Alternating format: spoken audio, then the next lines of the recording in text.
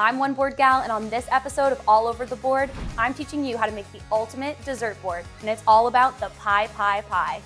Are you ready to go all over the board?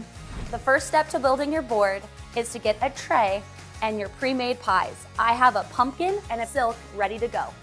To make bite-sized pumpkin pies, I take this cookie cutter and press down. Once you have your mini pumpkin pies, it's time for everyone's favorite topping, whipped cream. Next, I'm gonna take the pre-made cherry pie and scoop some of it into a cup to make a little cherry pie cup. Next, I'm gonna take these fully baked shells and fill it with some chocolate cream pie. The next step is placing some grapes and other fruits like blueberries and raspberries.